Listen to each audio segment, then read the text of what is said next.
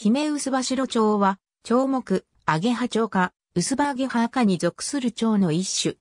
白蝶と名はつくが、白蝶科ではなくアゲハ蝶科の蝶であるため、和名を姫薄葉アゲハとする場合もある。日本では北海道にのみ分布するアシュピースタブンドフィー本ネー半透明の薄く白い羽を持つ。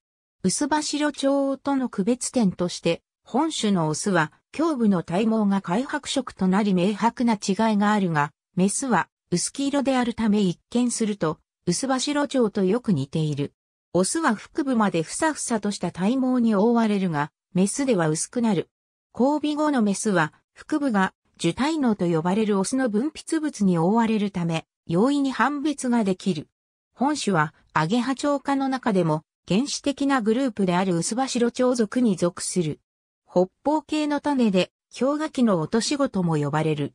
成虫は、年一か。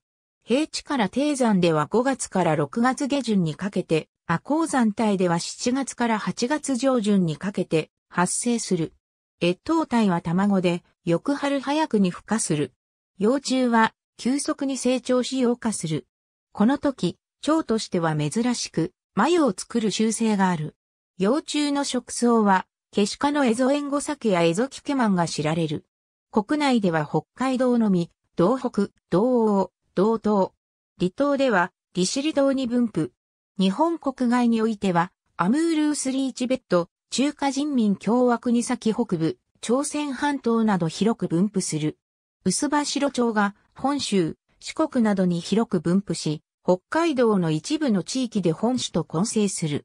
北海道大雪山系などの鉱山帯には、薄脇町が分布する。ありがとうございます。